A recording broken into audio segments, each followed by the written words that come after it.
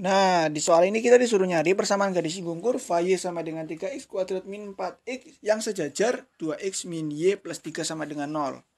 Nah, buat nyari PGS berarti kita bisa pakai rumus Y min Y1 sama dengan M dikali X min X1. Nah, kebetulan kita cuma punya modal sejajar sama ini persamaan garis 2X min Y plus 3 sama dengan 0. Berarti eh, langkah pertama kita bisa cari gradien ya.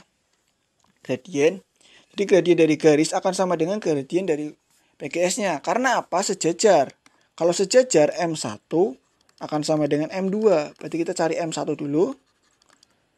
Nah untuk cari M1 ada sih rumusnya. Tapi saya nggak pengen pakai rumus.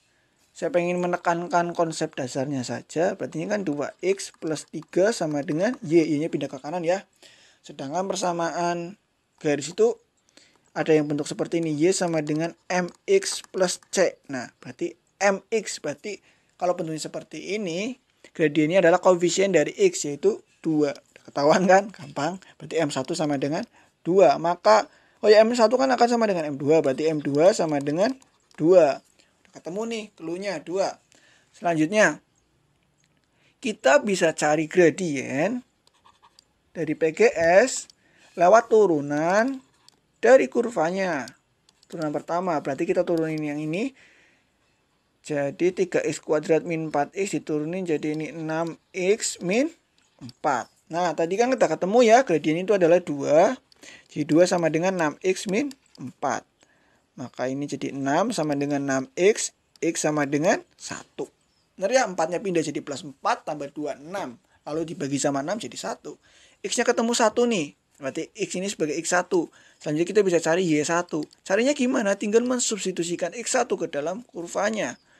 Berarti Y1 sama dengan 3 kali 1 kuadrat min 4 kali 1. 3 kurangi 4 min 1. Udah ketemu nih. Ini X1-nya, ini Y1-nya, ini M-nya. Selanjutnya bisa pakai rumus. Rumus ini ya langsung ajar aja. Jadi Y min Y1 min 1 sama dengan M-nya 2 dikali X min 1. Nah, jadi Y plus 1 sama dengan 2 X min 2. Selanjutnya yang pindah yang mana nih enaknya nih? Yang yang Y-nya aja yang pindah ya. Jadi 2X, Y-nya pindah jadi min Y, min 2 tetap, terus plus 1 pindah jadi min 1. Sama dengan 0 karena udah pindah semua. Jadi 2X min Y min 3 sama dengan 0. Nah, ketemu nih. Jadi bersamaan garis singgungnya itu adalah 2x min y min 3 sama dengan 0.